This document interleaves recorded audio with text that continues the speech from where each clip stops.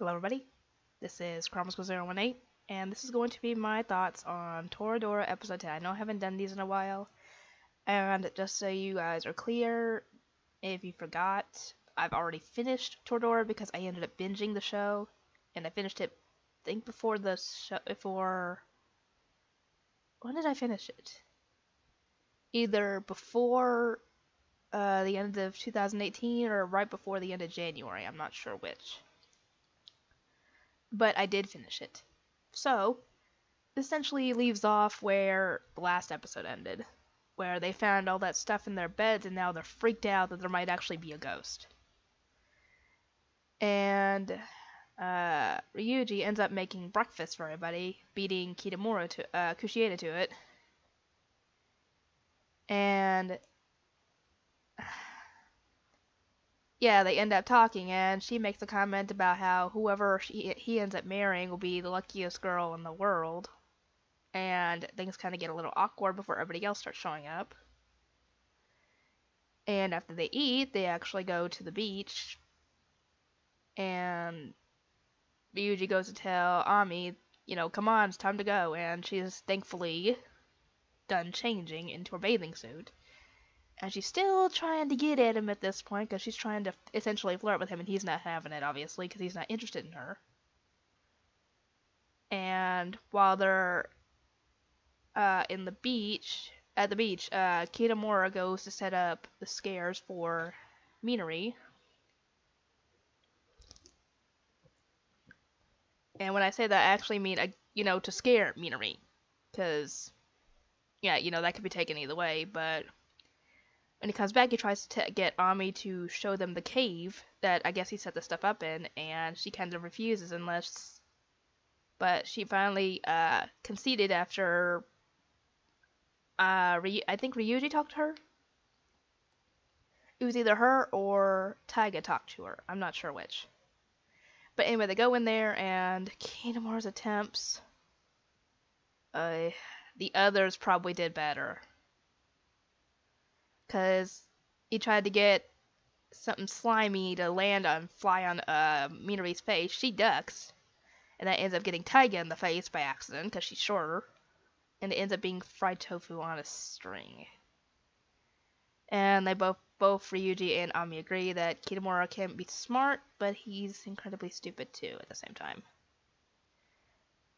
And they end up running past a couple of things, and yeah, it turns out there might be something creepy in there anyway, because there's something in there that none of them did. And uh, let's see what else ends up happening. Ami tries to leave because she's getting bored of all this, and Ryuji goes after her. When he hears her, I think when he hears her scream, and he tries to tell her, you know, don't worry, everybody's gonna be able to find us because their batteries on their flashlights ended up dying and Ami essentially reveals that she's you know mess she's messing with him. She's only pretending, and she lets him know that if uh, he and Minori were to start dating, he, she knows that he would never ever be mean to her, which is not essentially a balanced, healthy relationship. Because you know there's going to be some times where you're going to get mad at your significant other for whatever reason, and vice versa, and that essentially is a balanced relationship if you're just gonna be nice to your per- to your significant other all the time, even when they do something wrong, then that's not really a smart idea. And she tries to tell him that Minori is probably not the best girl for you. It's probably me. But as this goes on, we hear some more screaming, and the others and they start running back the way they came. And Minori apparently went on ahead and got caught by something, and Kitamura goes after her and the others start chasing after them, and we find out that, gotcha! They knew the whole time and they were pranking Ryuji and Taiga. Yeah, Minori wasn't stupid. She essentially knew that they were trying to scare her, and she did reverse psychology on Taiga when she told her that she was she didn't like scary stuff, and she actually loves scary stuff. And actually, I think before they went down to the cave uh, Ryuji talked to Min- Minori a bit. What am I hearing? Oh, probably this. Um.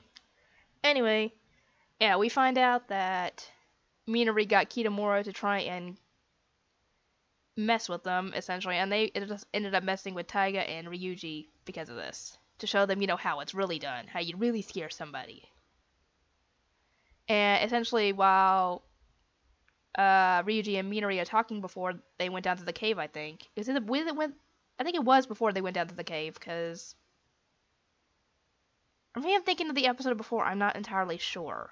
But anyway, they start talking, and she talks about how she can't wait. To, she really wants to be able to see things like UFOs, ghosts, aliens, stuff like that. And that essentially, I think, is her metaphor for she wants to be able to find love someday or to be happy or something. I can't remember exactly what if it's actually a metaphor. I think it is. And Ryuji agrees with her. So that made me think that maybe it was love that they were talking about. And while they're on the beach, later after the cave incident, uh, there are fireworks going off, and Ryuji ends up telling her that I think I see UFOs, and I think that's his way of saying that he actually does I don't, I don't really know. I don't know anymore. I don't get Minori. She's kind of odd. But she does care. I will say that. Anyway, everybody is heading back after that thing, so I'm guessing that they still got a lot of time before spring break, before uh, they go back to school over summer break. I think it was summer break. Anyway, that was essentially the episode. I don't really have too much to talk about. But if you guys have anything you guys want to talk about, if you want to fill me in on anything that I didn't understand, feel free to. And if you enjoyed this and you have not subscribed yet, I recommend doing so because I try to upload at least a few times a week. Maybe those times end up being on the same day. It just depends on when I can upload. Anyway, I hope you guys enjoyed it, and I will see you all next time.